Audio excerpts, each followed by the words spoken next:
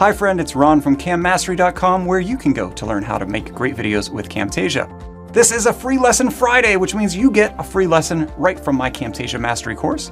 If you want to get the entire course, you can head over to cammastery.com slash store and pick up that course. Now, onto the video. Let's now look at these buttons and options we have above the canvas. The first is this arrow tool and it's called edit mode.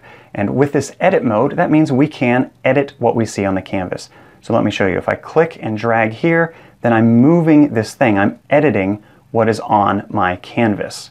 If instead I go to the next tool, which is the pan tool, and I click that, now when I click and drag, I'm not moving the media. I'm just moving what I see on the screen.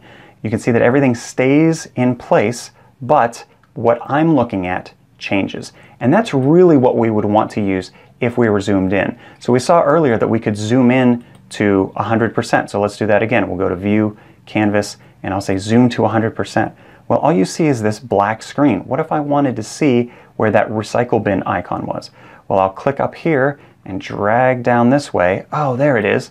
Now, had I not used this tool to do that, if instead I was back here, and instead I was on this Edit tool, now when I click and drag to move down, what I'm doing is moving that video. So if I zoom back out, if I go to View, Canvas, and Zoom to Fill, I can see that what I really did was I moved that media. I didn't move what I was viewing. So the tip again between these two is if you need to change something that you see on the screen, you want to keep it with the arrow, with the edit tool.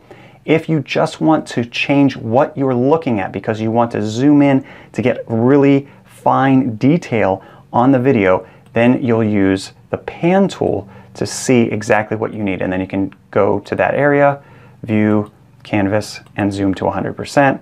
I can still use that pan tool, grab it and drag it, but it's not moving it off of the canvas.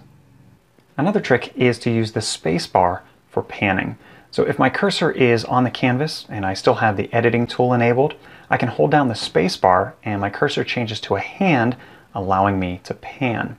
When I'm done, I let go of the spacebar and I'm back to editing.